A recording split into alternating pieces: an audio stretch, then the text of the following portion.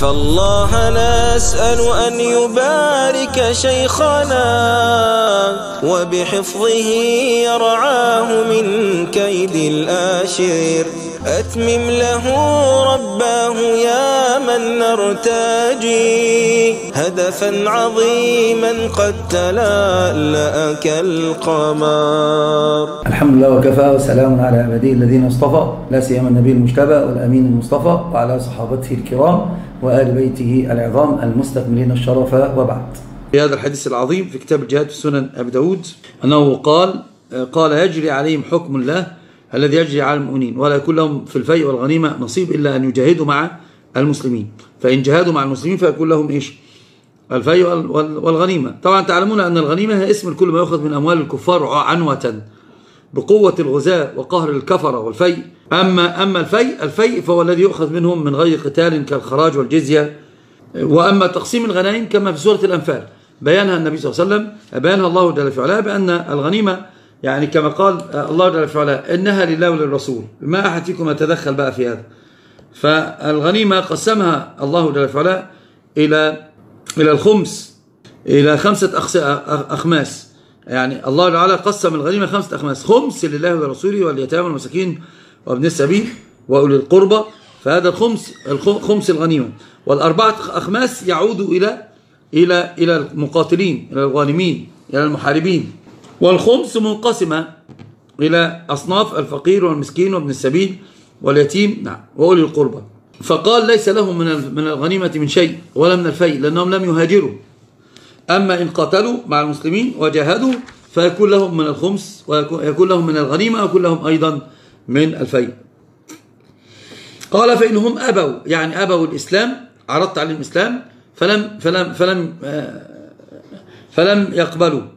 فإن فإن هم أبوا عن الإسلام يعني فادعوهم إلى الجزية يعني شوف الدين ليس قتالا هو الآن وليس طلب طلب قتال. نريد للناس أن يكونوا على رحمة من الله جل وعلا على خير كما في الإسلام. قال فإن, فإن أجابوا الجزية فاقبل منهم. أي خذ منهم الجزية ولا تقاتلهم. المسألة في خلاف العلماء في مسألة الجزية هل الجزية عامة على كل الكفرة؟ أم هي خاصة في أهل الكتاب؟ لعموم قول الله تعالى يا أيها الذين أمنوا إنما المشركون نجس فلا يقربوا المسجد الحرام بعد عامهم هذا. لما تكلم عن الجزية قال حتى يعطوا الجزية عن وهم صاغرون. كان في أهل الكتاب. فغير مفهوم المخالفة غير أهل الكتاب لا يأخذون أحكامه وإن كان الإمام مالك يرى التعميم يرى التعميم. والحنابلة والشافعية يرون بأنها خاصة بأهل الكتاب وهذا الأقرب. هذا الأقرب لأنهم الأقرب أيضا للدين. لذلك تركهم على على ما يتبنون من ديانة وقال ينزلون تحت حكم الإسلام وراية الإسلام. فقط هذا المطلوب منهم. فإن أجابوا فخذ منهم الجزية. فإن أبوا فاستعن بالله وقاتلهم. يعني إذا حصرت إذا إذا إذا أبوا عليك فقاتلهم بالاستعانة بربك جل في علاه. فإن الله ناصر دينه. وإن الله جل في علاه مع أوليائه. من كان الله عليه من كان الله معه فمن فمن عليه. قال قال الله تعالى ولن يجعل الله للكافرين على المؤمنين سبيلا. خبر رد بالإنشاء وهو خبر حق مصدق. وأيضا لقول النبي صلى الله عليه وسلم أنه قال الإسلام يعلو ولا, يعلو ولا يعلى عليه. الحديث فيه ضعف لكن المعنى صحيح. الإسلام يعلو ولا ولا يعلى عليه. فيعلوهم بالسيف فيجعل الله النصر على أيديهم كما حدث من الفتوحات العظيمة التي كانت في أسلافنا وأجدادنا. أعاد الله هذه أيام العز لنا. اللهم أمين رب العالمين. قال فاستعن بالله وقاتلهم. وإذا حصرت أهل حصن وتقاتلهم تقاتلهم أنهم أبوا. تقليم الأظافر هنا. أبوا وقتلوا ودفعوا الدعوة إلى الله جل في علاه. قال وإذا حصرت أهل حصن فأرادوك أن تنزلهم على على حكم الله فلا تنزلهم. شوفوا انظر هنا. فإنكم لا تدرون ما, ما يحكم الله فيهم. ولكن أنزلوا على حكمكم ثم اخذوا فيهم ما شئتم. في رواية أنك لا تدري يعني أتصيب حكم الله فيهم أم لا. هذه المسألة عظيمة جدا وكنا نشرحها كثيرا وهي في قوله فإن أرادوك أن تنزل على حكم تنزلهم على حكم الله فلا تنزلهم المسألة هذه في المسائل الاجتهادية. هذه في المسائل الاجتهادية المسائل المنصوص, المنصوص عليها تنزلهم. هذا في المسائل الايش التي ليس فيها نص في المسائل الاجتهادية. فأنت ما تستطيع في المسائل الاجتهادية تقول هذا حكم الله. لأن الله أخفى حكمه ولا أحد يعلمه. وتركه للمجتهدين من أهل الاجتهاد تتفاوت درجاتهم. كما قال الله تعالى وإذا جاءهم أمر من الأمن أو الخوف أذاعوا به ولو ردوا إلى الرسول وإلى أولي الأمر منهم العالم والذين يستنبطونه منه. ولذلك أيضا النبي صلى الله عليه وسلم قال الحلال بين والحرام بين وبينهم أمور مشتبهات. لا يعلمهن كثير من الناس. يعني يعلمهن إيش؟ قليل. فلذلك فإنك لا تدري أصول حكم الله أم لا وهذه فيها دلالة على الطريقة التي نتكلم عنها الطريقة السوية على على على على سير سيد البشرية وأيضا على ما شرعه رب البرية على أن الحق واحد غير متعدد. الحق عند الله واحد غير متعدد. لذلك قال أتدري لا تدري أتصيب حق الله الحق عند الله أم لا حكم الله فيهم أم لا لأن حكم الله واحد غير متعدد. ولو كان الاجتهاد كله مقبول لما قال أتدري أن تصيب حكم الله فيهم أم لا.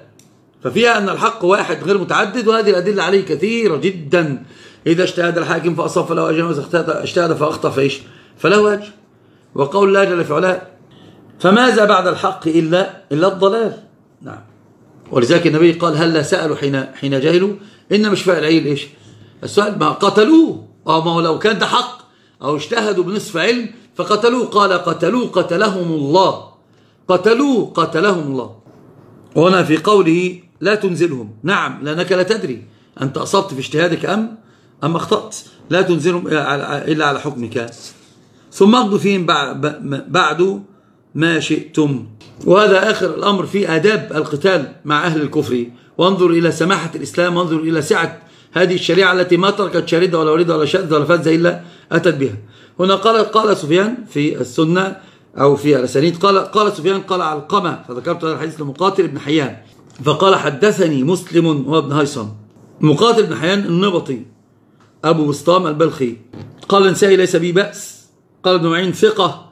وساق أيضا أبو داود والدارقني قال صالح. قال المروزي كان مقاتلا ناسكا فاضلا. هم أربعة, أربعة إخوة مقاتل الحسن ويزيد ومصعب. قال ابن خزيمة لا أحتج به. ونقل الفتح الأزدي أن ابن معين ضعفه وكان أحمد بن حنبل لا يعبد يصح أنه ثقة وقد وثقه كثير من علماء النبلاء. قال حدثني مسلم ابن حيان. المقاتل ابن حيان كان كان عابدا ناسقا. قد يكون ضعيفا في شيخ أو يكون ممن له أوهام. وماذا بعد؟ له أوهام وماذا بعد؟ قال حدثني مسلم هيثم العبدي روى عن أشعث بن قيس والنعمان بن مقرن. وعنه مقاتل وعقيل وسليمان. ذكر ابن حبان في الثقات وذلك ابن حبان في الثقات لم, لم يقرنه بالتوثيق يعني. قال عن نعمان بن مقرن يقال ابن عمرو بن مقرن بن عائز المزني وأبو عمرو أو أبو آه، حكيم. أحد الإخوة السبعة صحابي مشهور سكن البصره رضي الله عنه وأرضاه. عن النبي مثله يعني مثل حديث سليمان ابن بريدة. وفيه كما قلنا الدعوة إلى الإسلام أو الجزية أو أو القتال هكذا كان أدب الإسلام في هذا الباب. وفي رواية قال المصنف رحمه الله تعالى عن سليمان بن بريدة عن بريدة بن الحصيب رضي الله عنه وأرضاه أن النبي صلى الله عليه وسلم قال أغزوا بسم الله وفي سبيل الله وقاتلوا من كفر بالله أغزوا ولا تغدروا ولا تغلوا ولا ولا ولا تمثلوا ولا تقتلوا وليدا. وانظر هنا إلى آداب القتال وهذه هذا الشرف شرف القتال في ساحة الوغى. النبي صلى الله عليه وسلم يقول اغزوا بسم الله يعني استعن بسم الله تبرك بسم الله. استعانة والتبرك استعن بسم الله تبرك بسم الله. اغزو بسم الله وفي سبيل الله كن مخلصا. لا يكون القتال إلا في ساحة الوغى إخلاصا لوجه الله الكريم. عمل لدين الله جل وعلا. رفع راية النبي صلى الله عليه وسلم خفاق عليها راية لا إله إلا الله. أن تقاتل من أجل دين الله جل وعلا. أن تقاتل ابتغاء وجه الله جل وعلا. وفي سبيل الله قاتلوا من كفر بالله. يبقى القتال لا يكون لأهل الإسلام إلا إذا كان هناك إيه؟ شوكة ومنع لطائفة منعت شعائر الإسلام أو كانت طائفة باغية.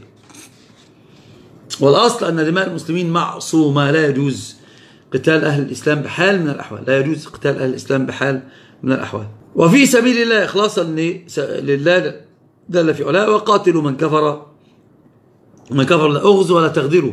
الغدر ليس من شيء من المسلمين. شوف الله تعالى لما تكلم عن المكر قال يمكرون يمكر الله. عن الكيد يكيدون كيدا وأكيدوا كيدا. نعم. لكن عند الخيانة قال وإن, وإن يريدوا خيانتك فقد خانوا الله من قبل فأمكن أمكن منه ما قال خانهم؟ قال أمكن منهم. لذلك قال لا تغدروا. المسلم لا يغدر. هذه من صفات المنافقين. الغدر من صفات المنافقين. فبذلك المرء إن كان أمينا وكان فاضلا فإن الله جل في يعني يعطيه على قدر أمانته وإن كان خائنا منافقا فالله على كل شيء قدير. قال لا تغدروا ولا تغلوا. الغلول هو الأغز من الغنائم. الغلول هو الأغز من الغنائم. ولا تغلوا ولا تمثلوا. ولذلك النبي صلى الله عليه وسلم لما مر على حمزة رضي الله عنه وجد أنهم مثلوا به قال لا أمثلن بسبعين رجل من بسبعين رجل منه. فأنزل الله جل وعلا قال فإن اعتدوا عليكم فاعتدوا عليكم بمثل ما اعتدى ثم نسخ نسخة المسلم. نسخت المسلم. ونهاه الله جل وعلا عن المسلم. قال ولا تقتلوا وليدا. وفي رواية أن النبي صلى الله عليه وسلم مر على امرأة تقاتل. قال النبي صلى الله عليه وسلم ما كانت هذه لتقاتل؟ ما كانت هذه لتقاتل؟ فحرم قتل الرهبان والشيوخ وقتل الأطفال وقتل النساء. وهذا هذه هي أخلاقيات ديننا ولله الحمد لله الفوائد المستنبطة سنة في تذكير من يعمل لدين الله جل وعلا أن يتقي الله في خاصة نفسه وأن يكون رفيقا بمن معه. فضل الإسلام أنه يدعو إلى خصال ثلاث. الإسلام فهو يكون منا وله ما, لا ما, ما, ما, ما له عليه ما علينا. أو الجزية. ينزل تحت حكم الإسلام يتعبد كيف ما شاء لكن يكون ذليلا صغيرا لأنه أنف وتكبر أن يكون عبدا لله فجعل الله عبدا من العباد الذين يدفعون الجزية. نعم. وجعل عبدا للشيطان. المجاور يأخذ حكم المجاور. حرمة قتل النساء والأطفال في ساحة الوغى. الإسلام كله أدب. الإسلام كله أدب. سبحانك اللهم ربنا وبحمدك أشهد أن لا إله إلا أنت أستغفرك وأتوب إليك. والله يدعو إلى دار السلام ويهدي من يشاء إلى صراط مستقيم.